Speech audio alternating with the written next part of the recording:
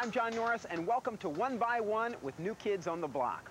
You know, it was the summer of 1989 that I first met these five guys from Dorchester, Massachusetts. They'd already had their first number one hit, and New Kids Mania was really beginning to take hold.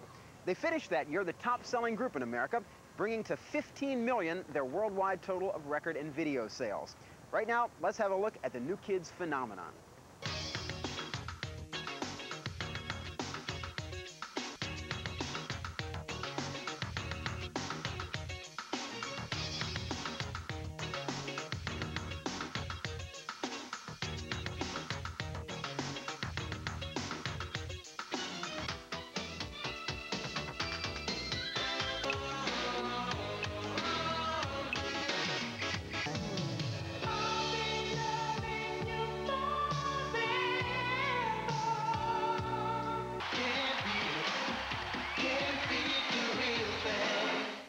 Right, well, despite all of that, earlier in 1990, some people were saying that New Kids had peaked, that their 15 minutes of fame was over. But then along they came with their fastest breaking album yet and their biggest tour to date. We recently spent some time with the guys out on the road on their Magic Summer Tour and managed to speak with four-fifths of the band, the only one we didn't chat with being Jonathan Knight.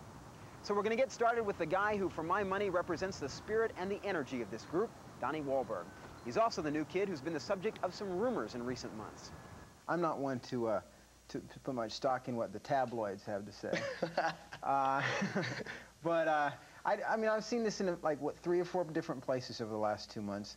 You know, Donnie is leaving New Kids. Donnie's thinking about leaving New Kids. Is this total, uh, totally not right? No, I think. Well, first of all, there's there's so much stuff in all the tabloids and, and everywhere that, I mean, you know, a lot of people are going to believe a lot of stuff that they hear, but no, it's not true. I don't have any plans on going anywhere, now. And uh, I think them things is because, like, see, like our image is so, is so, like, different from what we really are, you know I'm? Like, we're, we're good, not kids be role model positive people. And, you know, when people see, like, me on the street, a lot of people are surprised by what they see. You know, I'm not out there doing drugs or drinking and stuff like that. But I, I just, I mean, I grew up in the streets of Boston. And when you grow up in the streets of Boston, you learn to not take no crap, you know mm -hmm. what I'm saying? Right. And when people see me on the street, they expect me to be running around, you know, you know, hiding behind my bodyguards and this and that. And, you know, a lot of dudes want to try and take shots at us. Mm -hmm. And I don't go for it, you know. So, and I think people grab at that, grab at maybe my outspokenness, and my difference than say the rest of the guys in the group and it's just it's just an easy thing to get but I mean the guys in the group and myself we all, we all just act like ourselves and you know I, I think just me being a little bit different than the rest of the guys is just easy to easy to pick at. Um, as you said before, you guys, it's important to you that you're just positive people, and if you project a positive image, great, you know. Um, how adamant are you that the people around you in your organization are as positive and as and and live the way you live in terms of drug-free, basically in a positive kind of way? I mean, there's times, you know, if if the show is over and stuff, you see a lot of the roadies in the bar and stuff like mm -hmm. that. That's fine. You know what I'm saying? That's their right to do that. You know, it's just that just the way I live doesn't make the way somebody else lives wrong. You know what I'm saying? And I've never tried to say that somebody else is wrong for living the way they want to live. You know, a lot of people in my family, brothers and sisters had drug problems, you know what I'm saying? And that taught me lessons, you know?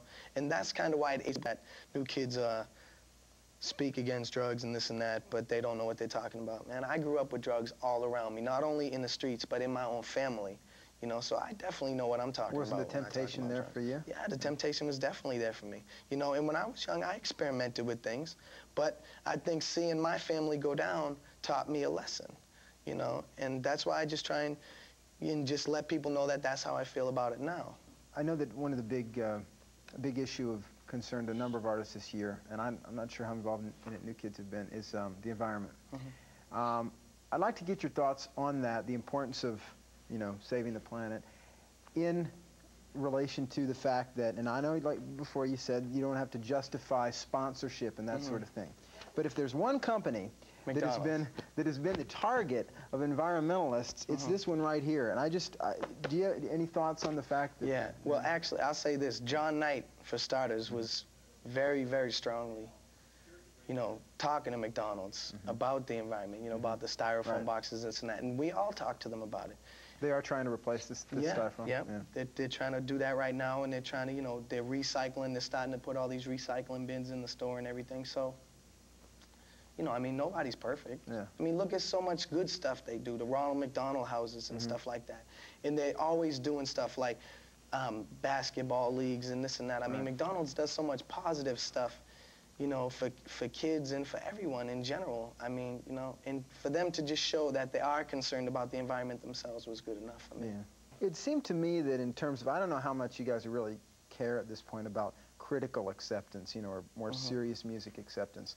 I mean, how important is that kind of acceptance to you? The fact that, I mean, the fact that Chuck D comes out in several interviews and says he is a fan of you guys and respects you and that sort of thing, Mhm. that must make you feel good. It, it definitely makes me feel good. Um, see, a lot. See, the, this is where it gets tough for me because you know when I walk through like the streets of a town or something, not just talking about critics. I mean, critics are everywhere. Regular people on the street are critics themselves. When I walk through the streets of a town and, and there's a couple of kids on the corner who are like trying to put down the new kids, you know, and I walk over to them and I, I mean, I'll get in a fist fight with them mm-hmm. right there on the street. Mm-hmm. And people will say, Donnie, you know, don't go to their level. You know, you're a millionaire, this and that. Don't worry about what people say about you. You shouldn't care. But the thing is, I do care. You know what I'm saying? I mean, I think everyone in the world cares about how people feel about them in one way or another. Mm-hmm. You know what I'm saying? And and I care. That's how I am. I'm not going to try and say, hey, I got a million dollars. You can talk about me all you want, because that's not how I am. If you're trying to, you know, to insult me and stuff, I'm to stand up for myself no matter what. And as far as critics go, you know, writers and stuff like that, I mean, they have a job to do, and I don't necessarily agree with it, but as long as they write out of knowledge and not out of ignorance, you know, if a critic comes to the show and sees it and says, hey, you know, the show wasn't that good, I'll respect that because they came and seen it. But most of the stuff I read, man, people have never even talked to us, met us, seen us, or nothing. And that I can't accept. That's just ignorance. Takes time.